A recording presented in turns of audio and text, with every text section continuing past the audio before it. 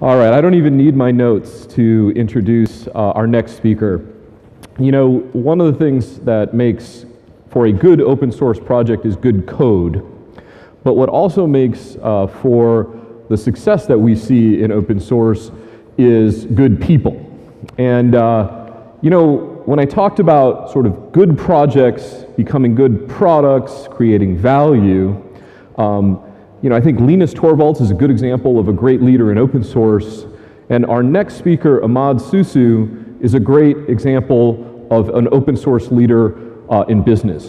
Imad has been at Intel Corporation working on open source since 2003. He was one of the first business leaders to recognize the power of open source and used it to create new innovation in the telecommunications sector and essentially created the majority market share for Linux in telecommunications as early as 2003, 2004. Today, he continues to be a leader in open source. He runs the open source technology group at Intel. He's on the board of the OpenStack Foundation. He's uh, on the board of our core infrastructure initiative, uh, on the uh, OCF group, uh, and many, many more. It is my pleasure to welcome someone who I've known for more than 10 years, Imad Sousou from Intel. Good morning. So it's, uh, um, it's always awesome to be uh, here uh, back in China. I speak, uh, I come to China, I speak at conferences in China at least uh, once a year. And, and this specific time is special. It's special because um, for the first time, uh, my family came with me. So I have very tough audience. I have my two children, my wife and two children, my two, my 12-year-old uh, and 13-year-old sons here uh, watching me tonight. So, so I do have very, very tough audience. And, and regardless of how comfortable I am uh, speaking in China, you know, uh, uh, again, you know, forgive me if I'm, uh, you know, uh, performing for my kids. So, so with that, um, uh, let me, um, I, I want to start with something, build on some of the things that Jim talked about. So um, I, have been managing the Open Source Technology Center at Intel for over 17, 18 years now. I, I was, I, I was uh, I've created that group uh, way back when we, uh, when, we when we were trying to enable Linux in the telecom market. And um, one of the uh, things that is not very well known, maybe known here in China, but not very well known uh, uh, globally, is that, and, and the Open Source Technology Center, my group, is a very large group. We have a lot of open source engineers. But what people don't realize is that 600 of the Intel open source engineers in my group are here in China. In fact, in fact, it makes me kind of mad when people start talking about China and not understanding open source. We have some of the best open source engineers here in China. Almost 90% of the virtualization leadership, for example, and I can give you many examples of the amazing open source engineers here in China. So um, in today's talk, you know, I am always humbled to, uh, uh, uh, to talk about some of the projects that, uh, that the Intel open source engineers are working on. And some of the, uh, uh, some of the things that they are creating and some of the real world problems that they are, that they are solving. And, and it's always, and, and everything I, I will say today is really trying to represent this work and, and, and, and to talk about it, and hopefully you can join us in working on some of these uh, really cool open source projects. So, um, so let me start with, um, you know, with something that all of us probably know by now. So all of us know that um, the cloud software-defined infrastructure is now well established. Um, all of us are familiar with, with, with uh, software-defined compute, software-defined storage, software-defined networking. It's really just the evolution of the modern data center and the automation of the modern data center uh, uh, that, we, that we live in today.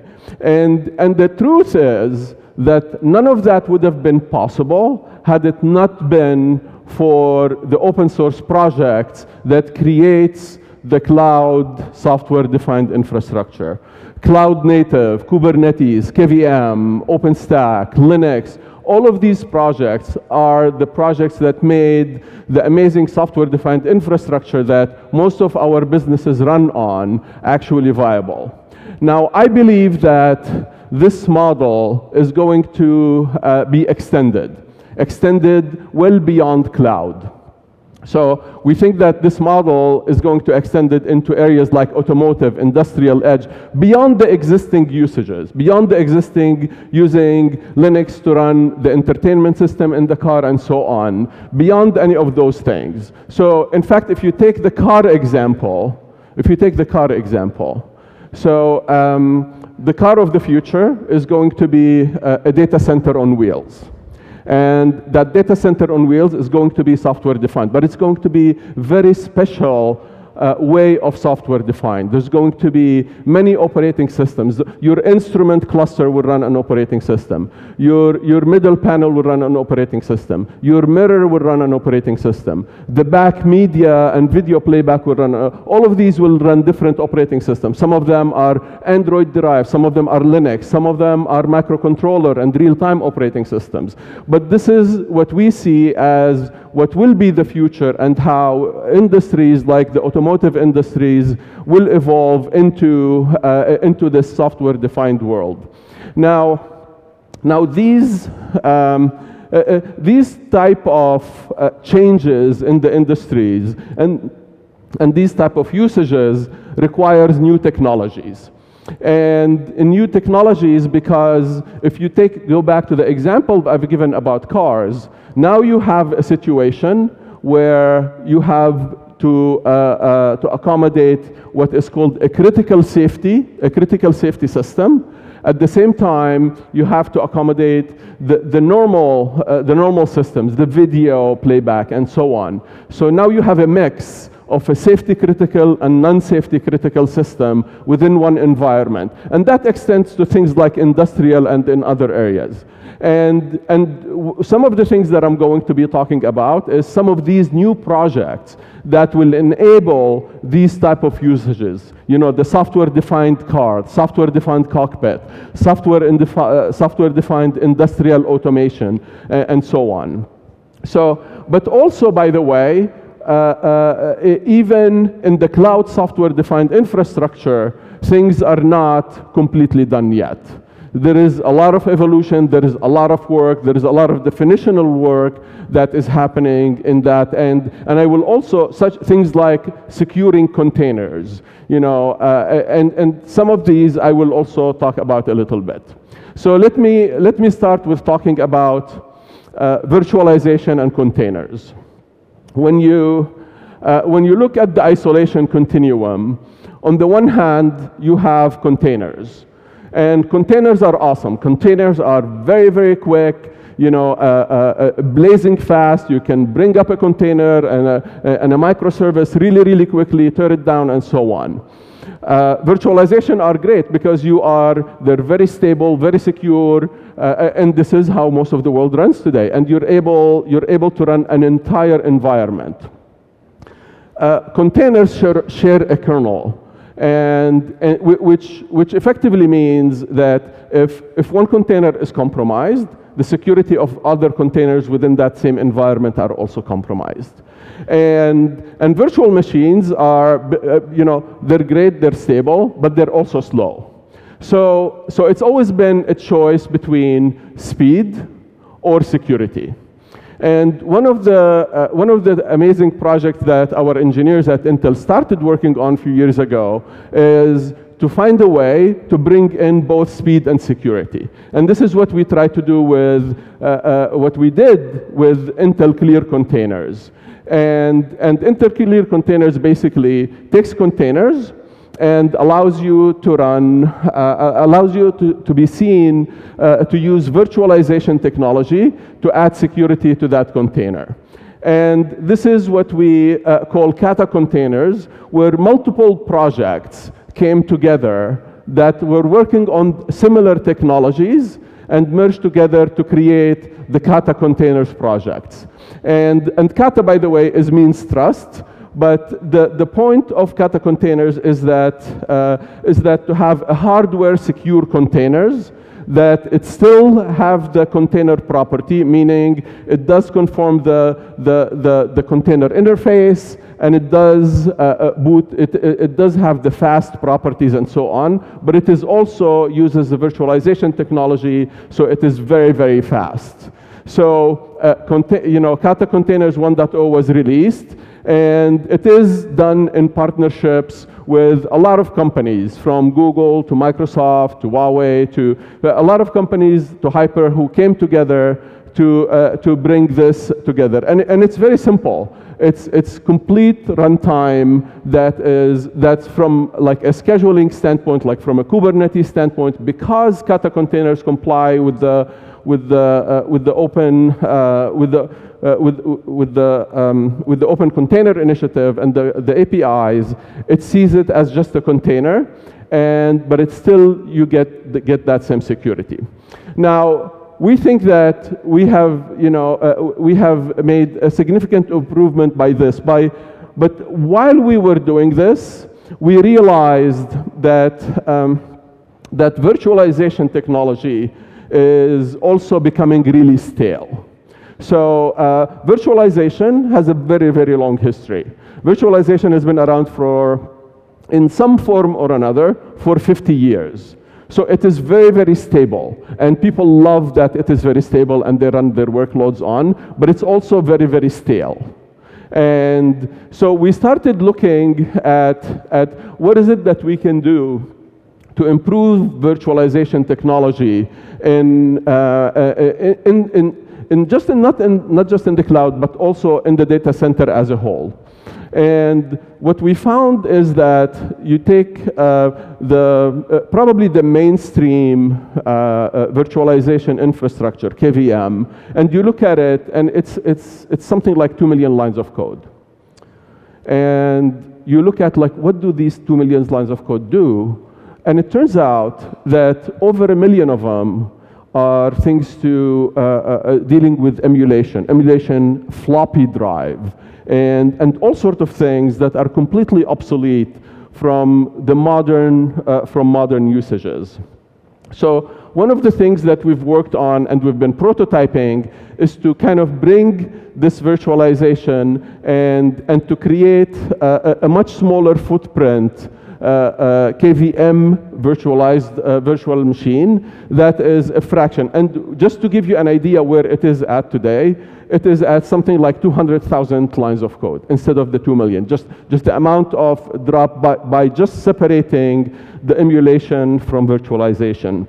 And by the way, most hardware platforms don't need, because modern hardware does not need that emulation, so we feel safe that it's, it's good to do that. Now, I talked about cars, and I talked about how cars are going to be software defined. Well, how are they going to be software defined without the right, uh, without the right uh, uh, virtual machine? So this is the virtual machine that we've created uh, under the Linux Foundation. It's called ACRN. And ACRN is a functionally safe uh, uh, virtual machine. A, a, virtual machine, the, a hypervisor that can run functionally safe workloads. So you are able to mix now, you know, run uh, a completely uh, uh, functionally safe system alongside the same software-defined infrastructure with the rest of the car systems, whatever other operating systems you are running, that, and you are able to share and pool things like do the graphics sharing, uh, uh, all the, the relevant things to the car, Bluetooth, USB, and all of these other things that, and media, things that cars cares about, into a, a truly IoT and a car-based um, a car-based uh, um, uh, hypervisor. And even though we started the ACRN project only few, like few months ago, we are we're already seeing uh, a great result. People are already starting to use it. If you look at uh, uh, Harman at the Auto China 2018 show, introduced their uh, next generation intelligent cockpit. It was built on ACRN. Alibaba's, the, the work that we've done with Alibaba on the electronic cockpit also is based on ACRN. So it's amazing to see, uh, you know, the evolution and, and how people are beginning to use these new projects. So I do encourage you a lot to please participate in, in some of these new projects. Um, Next, I want to talk about Linux. And I, I want to talk about uh, uh, uh, uh, some of the work that our engineers are doing in, in a, in, a, distribution that we call a modern Linux distribution. And, and the reason we call it modern, by the way, is is more, uh, uh, uh, yes, there is a lot of things that I, I can talk about, about the features of this Linux. Uh, the, the reason we call it modern is because we've designed this, uh, uh, this with, an, with a new development model that, that is much more friendly to modern usages. So we're not really encumbered with the complicated packaging systems and, and dependency trees and, and, and the way Linux is, is typically packaged. And, and one of the conscious decisions that we've done upfront is that we wanted to make it really, really easy for all distributions to steal, to take, to take things from uh, the clear Linux distribution that we've created and to put it in their own distributions. And here is why. You know, in clear Linux, we implement all platform features. Um, and so what does that mean? So uh, one, of the, one of the things that is not really well known when you look at not just the kernel, an entire Linux distribution, is that um, for a feature to be useful for an end user, the feature must be implemented top to bottom in the kernel, in the libraries, in middleware, in multiple areas. You know, if it's uh, machine learning in TensorFlow, if it's using Kubernetes and Kubernetes and so on. But the entire stack needs to be uh, enabled and optimized for those features. So we do platform features and we do performance. In addition to that, we don't make any compromises on performance to lower the bar to a least common denominator. So we really focus on making Linux work really, really well and utilize the hardware really, really well. And, and you can just Google, you know, and, and, and search for, you know, uh, uh, uh, what's the performance impact, and you will see in a lot of benchmarks that the result of this is 4x performance difference, not 10% difference, 4x, 400% performance difference in some of these. So again, the other things we're doing with Clear Linux is creating a model where we are able to react and respond really, really quickly, not just for software, not just for hardware bugs, but also for software bugs, to, to make available those mitigation really, really quickly. And a lot of that is rooted in the development model that we use and how we create uh, and how we are able to be current. Current mean very close to the upstream, very modern software update, atomic updates, and, and all of these other features. So I really do encourage you to take a look at Clear Linux, and please feel free, if you have your own distribution, take whatever you want, we will even help you. So um, finally, I just want to close with, um, with a plug for our Edge projects. You know, Akraino is, a, is an umbrella our umbrella edge projects that we've created with many partners, many partners here in China, in the US, under the Linux Foundation. Akraino is where we feel that all the edge programs will eventually uh, uh, uh be hosted under and we're, we're, we're going to be working very closely with all of you and with the Linux Foundation to make this happen. One of the things that we've done in support of this is to open source our Wind River Titanium Cloud product, a, a carrier grade edge product, and that product obviously we will um, integrate into Akraino. So with that, you know, uh, I want you to thank you very much, and I want to thank the Linux Foundation staff, and thank you very much, Jim, and uh, have a good rest of conference.